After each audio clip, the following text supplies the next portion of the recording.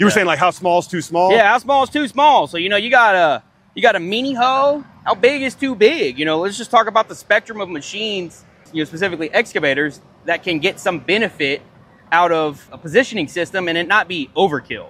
You and I go back uh, quite a, quite a long ways. In a previous life, we worked on a on a long stick excavator that Yeah. uh, was doing dredge work down in the port of Houston, and I think it was like 90 foot of stick and boom. Yeah, it was like a hundred foot, fifty foot stick, fifty foot boom. Yeah, it was digging in fifty foot of, of water. standard Topcon excavator system there. So we can run our system underwater Yep. for that kind of application.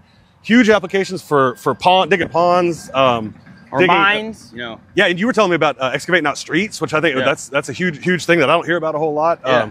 but now we're starting to see more guys uh, uh, doing grade beams for concrete, uh, digging out utilities, underground utilities, that kind of thing. So how big how big's too big? How small is too small? All the sensors and everything that go on the machine are all the same, whether it's a, a, a massive machine or a small one. So MC Mobile uh, excavator system on like a Cat 300 series.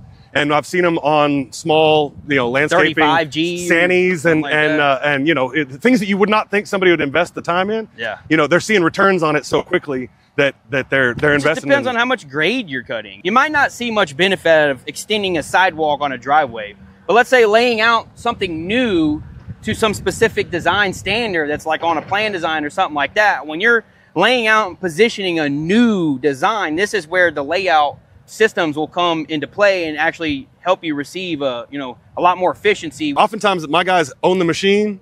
They're on it two or three times Yeah. a week, if not every day. Um, they've got a grade checker that works with them all the time, who's out on the ground, who's he's he's usually using a laser to go check grade. You know, so he's having to run his machine with door open all summer long in Yeah. the heat. Um, so what we're able to do then is go look at his project and say, okay, like what what kind of stuff are you given before you get out there, right? Do you have a CAD? Are you given are you given a, a PDF and all the kind of stuff that they could turn over to somebody like y'all? You could turn them over a turnkey model that they could just throw in a machine and go cut grade, right? Yeah.